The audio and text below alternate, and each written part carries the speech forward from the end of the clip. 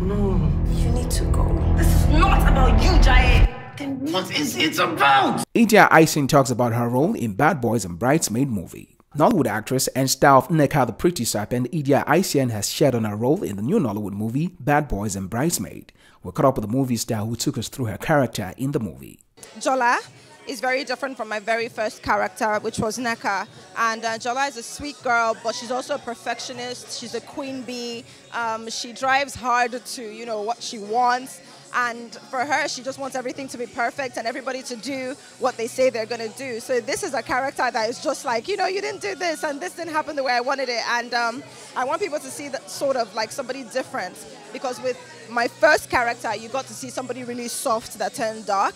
And here you get to see a bit of comedy and romance and sort of like my more feminine side. I'm